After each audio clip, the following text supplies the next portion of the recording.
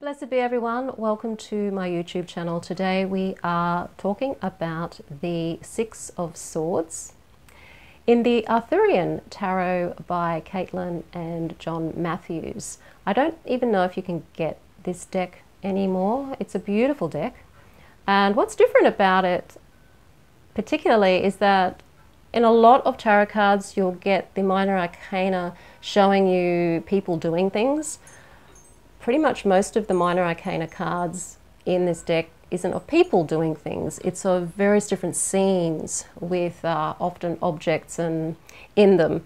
And it gives you a sense of connecting to your intuition through what you feel like when you're connecting to the imagery of the scene itself. So it can be really good for storytelling in many ways without necessarily seeing people doing things. It, it opens things up a lot more. I feel, in this deck, and it's one of my favourite decks.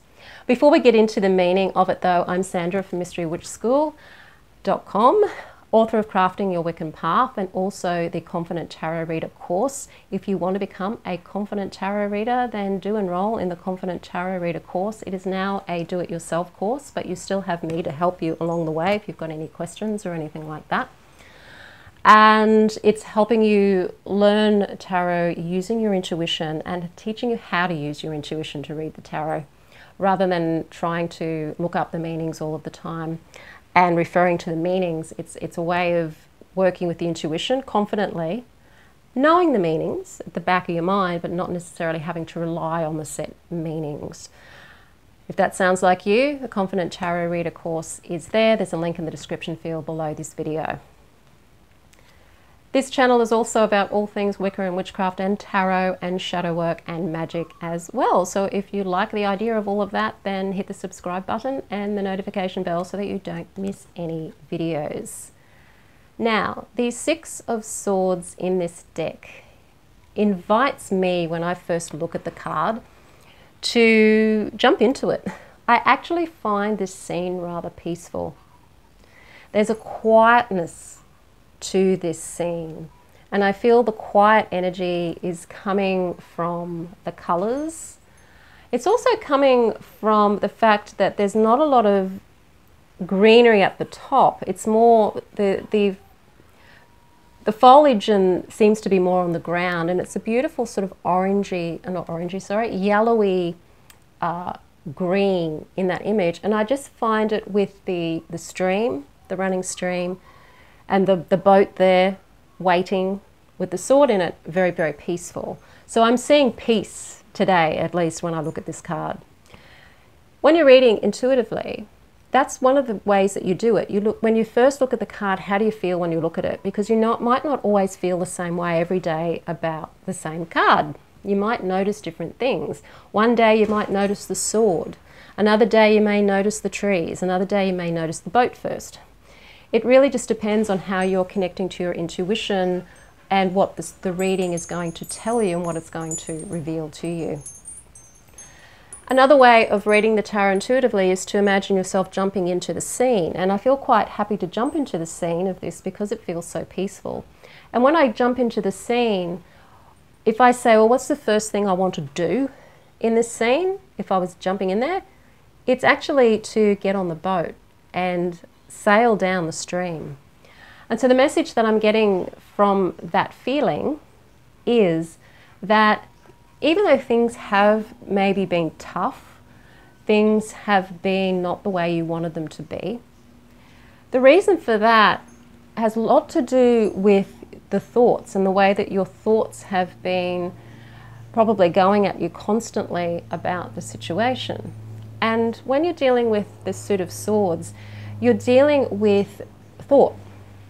And whilst thought is very helpful in our lives, it can also be the cause of conflict and the cause of most of our anxiety and our worry and our sadness and all of those things.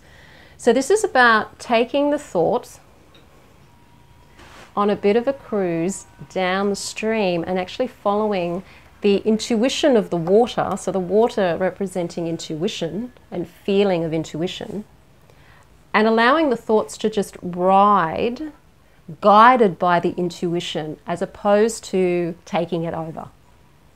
Our thoughts tend to take over, our intuition because we're taught to do that. We're not taught to use our intuition, we're taught to use our thoughts. but our thoughts should be guided by our intuition. So, bringing your sense of trust and guidance in your higher self or in your intuition or in your guides, if you work with guides, is what today this card is saying to me. So, take your thoughts and allow your thoughts to be guided by your intuition, not by themselves, not by the programs of the thoughts. Our thoughts are programs, and our beliefs are just those thoughts that repeat over and over and over again, and they become a belief. Our thoughts create our perceptions of the world as well. So, if we can use the intuition and the higher self to guide instead of the ego, then the thoughts then become a great uh, tool to use, but they're serving us instead of us serving them.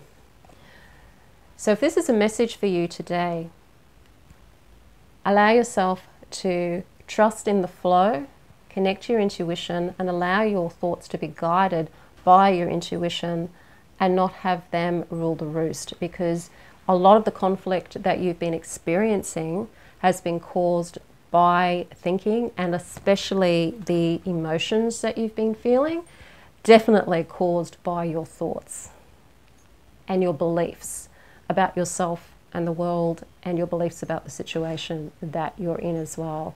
So just allow yourself to have some time out, get on the boat, and just allow yourself to go with the intuitive feeling of the stream.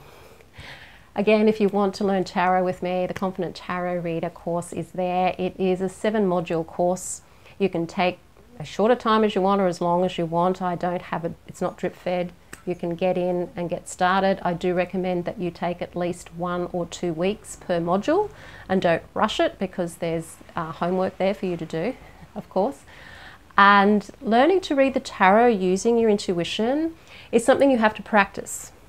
So find relatives, friends, anybody uh, to practice with and uh, get started on reading the tarot. The course is also designed for those of you who don't have necessarily a lot of people that you can practice with. It will help you to engage your intuition even if you're doing a mock spread. So that's a spread that you're doing that isn't actually a spread that you're doing for another person or even a question you may have asked yourself. It's just using a mock spread to learn how to tell a story. I know there's a lot of people out there who don't have other people they can practice with when it comes to learning tarot. So that's why I teach with the mock spreads because it just helps you then be able to get confident reading those. And then when you do start to read for other people, uh, it makes it um, so much easier to do that. So that's the Confident Tarot Reader, link in the description field below this video. If you like the video, hit the like button, share it with your friends. Don't forget to subscribe. I am Sandra from MysteryWitchSchool.com. Blessed be.